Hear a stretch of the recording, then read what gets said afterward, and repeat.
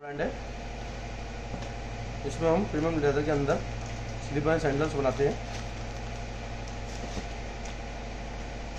हमारा कॉपर का स्लीपर है। इसमें हमने प्रीमियम लेदर यूज़ किया गया है।